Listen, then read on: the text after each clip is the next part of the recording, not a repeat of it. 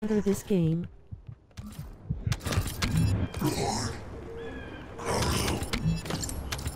It is over.